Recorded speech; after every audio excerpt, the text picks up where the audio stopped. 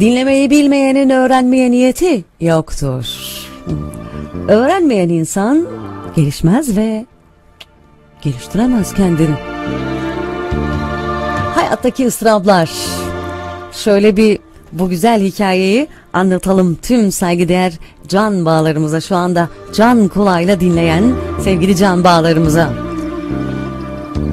Yürek e, yorgunu kitabımızdan kuşkularla kardeş olmayın der Venhar Sarıoğlu hayattaki ıstıraplar bölümünde. Kuşkularla kardeş olmayın. Kimseyi kuşku çilehanesine sokmayın. Alacakaranlıklarda dolaşmayın. Dolaştırmayın. Kanatlılar arasında yarasa neyse düşünceler arasında kuşku da odur. İkisi de hep alacakaranlıkta uçarlar. Aman dikkat. Yaşlı bir usta çırağının sürekli her şeyden şikayet etmesinden bıkmıştı. Bir gün çırağını tuz almaya gönderdi. Hayatındaki her şeyden mutsuz olan çırak döndüğünde yaşlı usta ona bir avuç tuzu bir bardak suya atıp içmesini söyledi. Çırak yaşlı adamın söylediğini yaptı ama içer içmez ağzındakileri tükürmeye başladı. Tadı nasıl diye sordu yaşlı adam. Tadı nasıl? İyi mi? İyi mi? Çırak öfkeyle acı acı ne iyisi acı fena acı dedi. Usta kıkırdayarak çırağını kolundan tuttu ve dışarı çıkardı.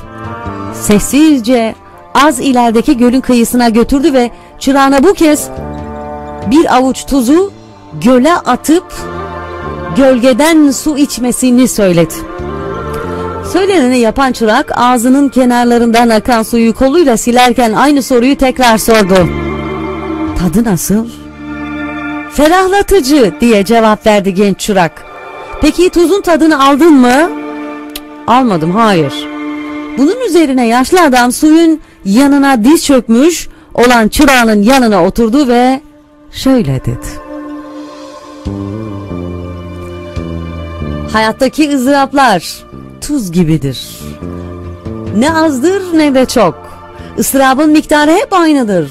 Ancak bu ızdırabın acılığı neyin içinde konulduğuna bağlıdır. Isırabın olduğunda yapman gereken tek şey, bir şey, ıstırap veren şeyle ilgili hislerini genişletmemektir. Onun için sen de artık evet bardak olmayı bırak göl olmaya çalış. Bardak olmayı bırak göl olmaya çalış. Göl olmaya çalış. Aşk olan.